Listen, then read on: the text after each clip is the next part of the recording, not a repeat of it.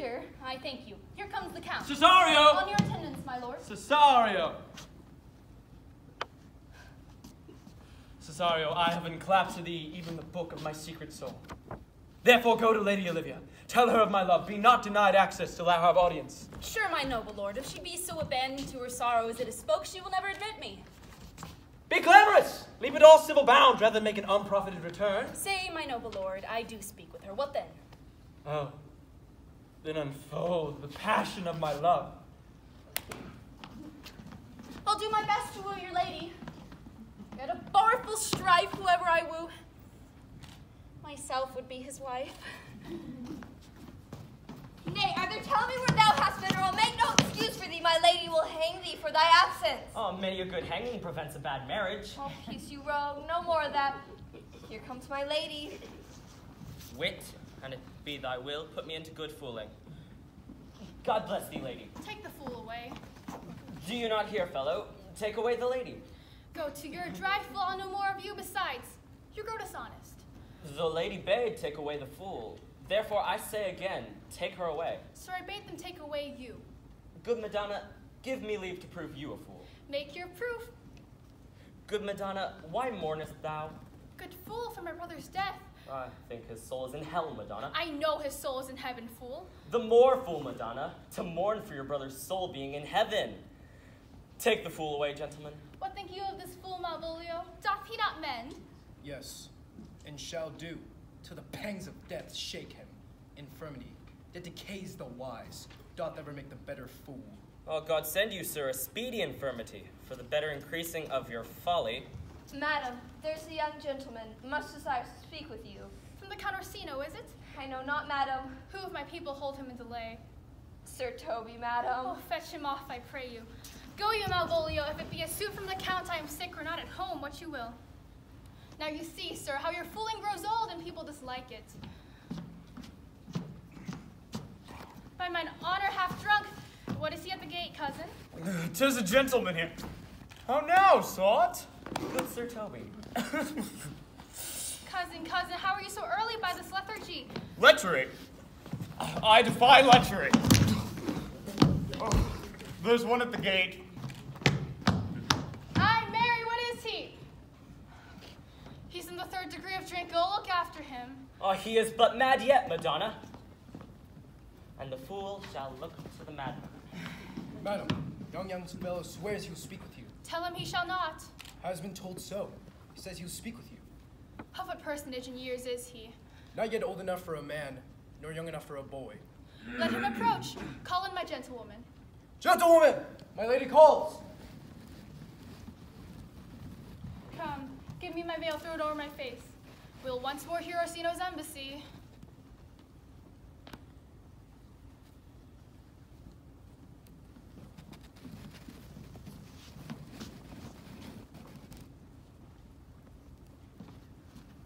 The honorable lady of the house, which is she? Speak to me, I shall answer for her. Most honorable, radiant, and exquisite beauty. I pray you, tell me if this be the lady of the house, for I never saw her. I would be loath to cast away my speech, for I have taken great pains to con it. Are you a comedian? No, I am not that I play. Are you the lady of the house? I am. I will on with my speech in your praise, and then show you the heart of my message. Come to what is important in it. I forgive you the praise. Alas, I took great pains to study it, and 'tis poetical. Speak your office. It alone concerns your ear. Give us the place alone.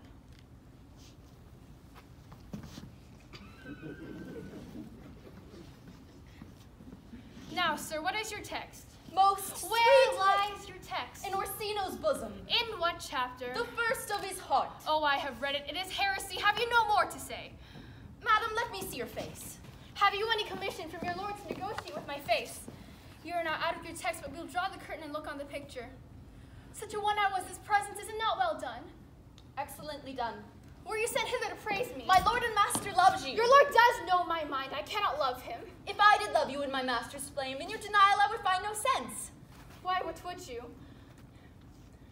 Write loyal cantons of contemned love, and sing them loud even in the dead of night, and make the babbling gossip of the air cry out, Olivia. You might do much. Get to your lord. I cannot love him, let him send no more. Unless, perchance, you come to me again to tell me how he takes it. Fare you well. Farewell, fair cruelty. Not too fast, soft, soft. Even so quickly might one catch the plague. Methinks I feel this youth's perfections a creep in at mine eyes. Well, let it be. What ho, Malvolio! Here, madam! Run after that same messenger. He left this ring behind him. Tell him all none of it. Hie thee, Malvolio. What is the creed must be, and be this so. Will you stay no longer? By your patience, no. You must know of me, Antonio. I am Sebastian. My father was that Sebastian of Messaline. He left behind myself and a sister, both born within the hour. For some hour before you pulled me from the sea, my sister drowned. A lady, sir, thought much to resemble me. Pardon me, sir, your bad entertainment, but let me be your servant. Desire it not. I am bound to Count Orsino's court. Farewell. I have many enemies in Count Orsino's court, but I will go.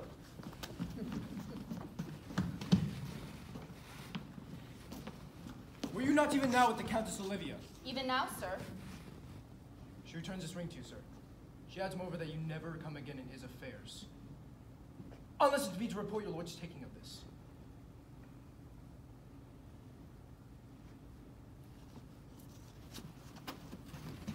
I left no ring with her. What means this lady? Oh, she loves me, sure. Poor lady, she were better love a dream.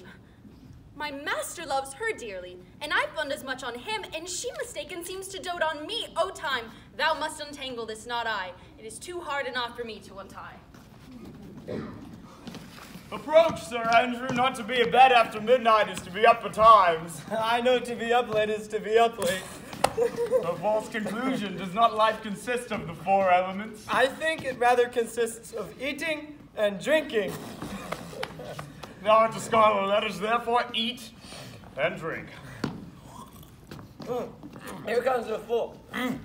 Oh, welcome, let's have a song. Shall we make the welkin dance indeed? Most certain it begins, hold thy peace. I shall never begin if I hold my peace. Come, begin. What a do you keep here? If my lady had not called upon her steward Malvolio, Oh, then you the one- 12th day of. December! Oh, my masters! Are you mad? Do ye make an alehouse of my lady's house? Sir Toby, my lady bade me to tell you, if you can separate yourself and your misdemeanors, you are welcome. If not, farewell. Go shake your ears. Sweet Sir Toby, be patient, for thy lady is much out of quiet. For Monsieur Malvolio, let me deal with him.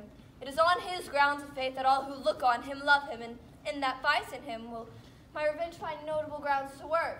What wilt thou do? I will drop some obscure epistle of love. I can write very much like my lady, your niece. Excellent.